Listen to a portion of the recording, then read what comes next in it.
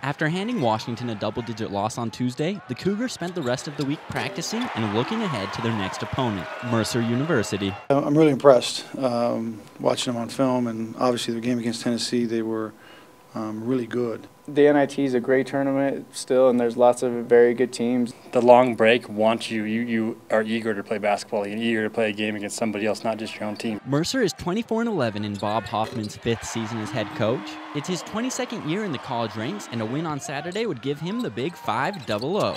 To get Hoffman to 500 wins, the Bears will need to play stingy defense and careful offense. And they run their offense really hard.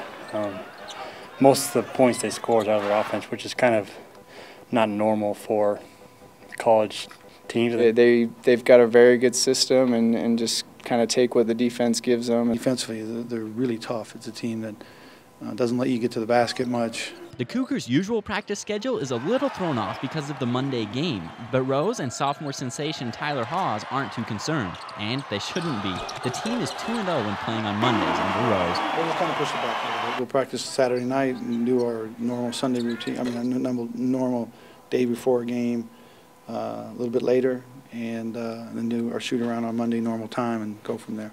We've had a, a good week of practice, and uh, we're going to practice tomorrow night uh, instead of you know in the middle of the day.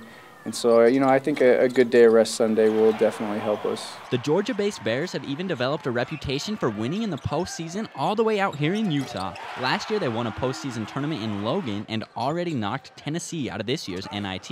They went right at Tennessee, weren't, weren't scared at all. They've won six straight postseason games going back to last year. They know how to win, and um, but we, we have a good history too, and so it'll be a good battle.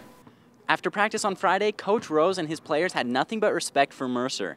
They said that they were able to go on the road, beat Florida State, as well as win a conference championship, so there's no need to take Monday off. BYU is prepared and hopes to earn a way back to New York City. Skyler Hardman, BYU TV Sports.